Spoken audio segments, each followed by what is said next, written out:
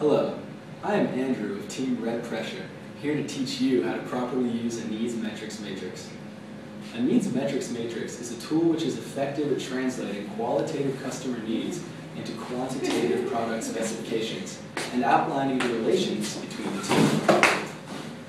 My teammates, Chris, John, and Tom, will teach you how to effectively relate needs and specs in a simple three-step process. They will explain how to ascertain customer needs. They will explain how to determine target specifications and metrics. And they will explain how to properly use the needs metrics matrix. The needs metrics matrix is set up with the customer needs on the left, the specs above, and then a matrix in the middle where you can mark where the customer needs and specs line up. Right now, Tom is writing the customer needs for a water bottle using the needs metrics matrix marker. These customer needs can be derived in various ways. They can be derived by using surveys, interviewing customers, using focus groups, or by observation.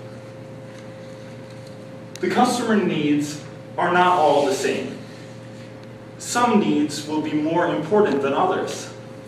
And you have to keep that in mind while you are writing your customer needs. The reason that this is important is that some of your specs may line up with multiple customer needs, which you cannot fill both. So you need to have a hierarchy of your customer needs. The next step in defining your needs metrics matrix is to set your target specifications. These are the metrics part of the needs metrics matrix. The first step in this process is to prepare the list of metrics. This needs to be a complete list of all the dependent variables associated with your, your product. And it needs to have the list of both practical and the popular criteria that you're going to use to evaluate your product. A good way to help define this is with benchmarking. The examining other products on the market issued by competitors to see what criteria your product will have to stand to in order to be successful. A good way to do this is to set ideal and marginal, marginal acceptable values. For example, for our mass of the water bottle, we have decided that it should be less than 500 grams to meet the, the benchmarking, and that's the marginally acceptable value for that uh, criteria. Afterward, we have to reflect on the process. Do we think that this is a, a good summary of the needs? What do you think, John?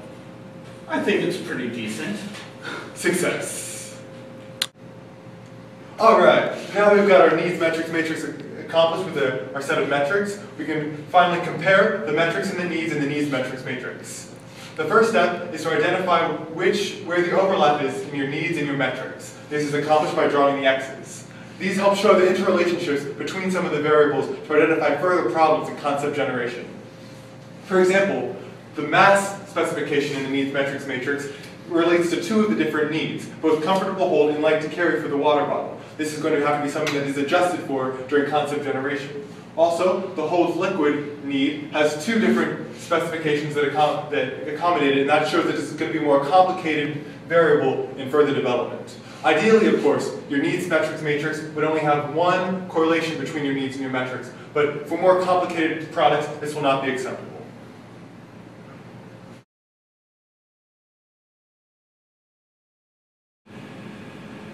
I hope you have learned a lot about how to properly use a needs metrics matrix from my teammates John and Tom.